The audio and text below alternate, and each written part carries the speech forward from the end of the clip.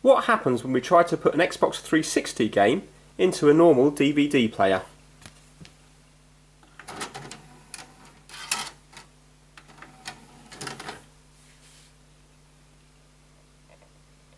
Right, it says disk loading.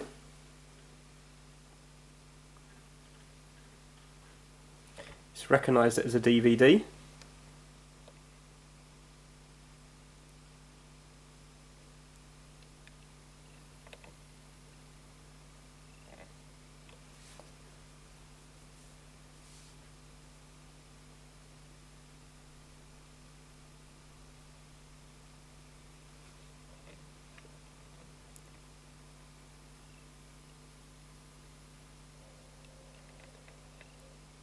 But now nothing's happening. So obviously you can't play an Xbox 360 game in a DVD player.